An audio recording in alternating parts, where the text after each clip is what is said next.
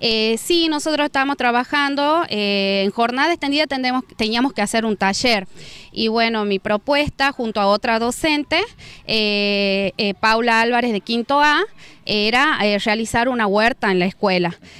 bueno, lo habíamos planteado con la directora y bueno, ella nos propuso de que con los niños busquemos un sector apto para poder hacerla la huerta.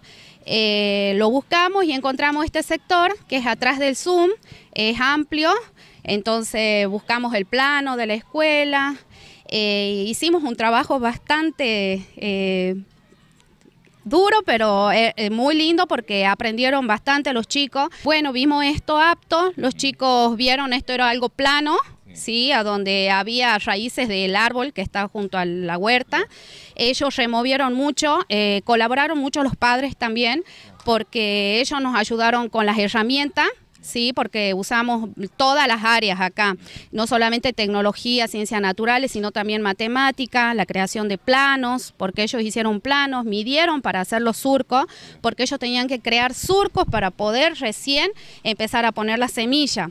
Y también fuimos eh, a, invitar los otros tipos de especialistas, por ejemplo, vino el agrónomo Héctor Díaz, eh, don, del INTA, sí. Él vino, les dio una charla, aprendieron bastante con él y bueno, les enseñó cómo poner la semilla y, este, y qué tipos de semilla vamos a poner en el invierno.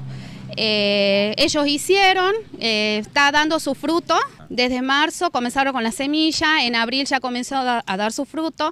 en realidad teníamos miedo por el invierno, porque todavía nos siguen colaborando las familias, ¿sí? Eh, por ejemplo, ahora en las vacaciones tenían la responsabilidad cada familia de venir porque seguía abierta la escuela, eh, los ordenanzas se encontraban acá trabajando, entonces eh, se ponían de acuerdo las familias en venir a, seguir regando, a usar las herramientas, sí, porque bueno, tenemos ahora una sola manguera, eh, un solo caño, sí, entonces se nos dificulta y los chicos cargan el agua en los baldes, habíamos creado también regaderas, todo con material reciclable.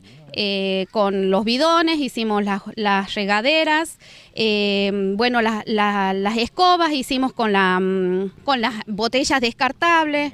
Y bueno, seguimos usando otros tipos de materiales, por ejemplo la bolsa de arpillera también las habíamos usado para cubrir las plantitas que ya crecieron del frío, más que nada. Eh, los niños hacen mejores trabajos que los adultos.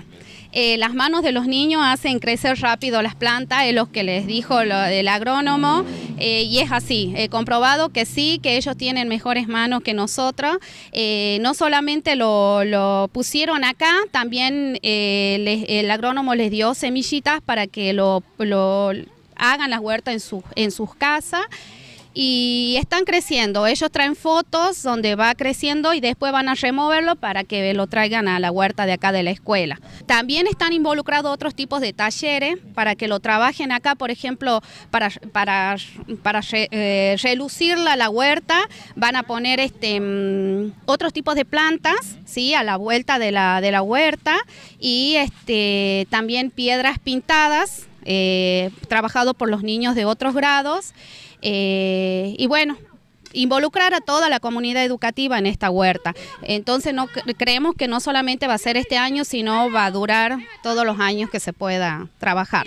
Eh, bueno, ellos, este, nosotros les habíamos pedido a los ordenanzas que mientras ellos iban cocinando todas las cáscaras que, se la pueda utilizar en la huerta, ellos mismos me las puedan tirar acá, así los niños van removiendo junto a las tierras, hojas resecas que tiran el árbol porque tuvimos otoño. Entonces todo eso habíamos usado para, para que ellos mismos creen el compost. Y eso es lo que hacen y, esa es la tierra que nosotros estamos usando para la, eh, cada surco de las plantitas la única dificultad que creen ustedes están teniendo por ahora tiene que ver con el acercar el agua solamente hasta este lugar. Eh, ¿Creen que se puede trabajar en ese sentido o por ahora creen que con la manguera es, suficiente? ¿Cómo van a hacer? Eh, la directora no está solucionando, sí, este, eh, quieren traer más materiales, por ejemplo hay una docente que está a cargo de otro tipo de taller que también está trabajando para materiales de la escuela. Eh, ahora ella, por ejemplo, junto a sus alumnos compró mangueras, eh, compró un sapito para que eh, corra bien el agua, entonces rastrillos, entonces es como que todos nos colaboramos para que esto se crezca, más que nada esta huerta y sea más grande y, bueno, en el verano poner otros tipos de plantas acá que sabemos que ahí es donde más va, va a crecer las plantas.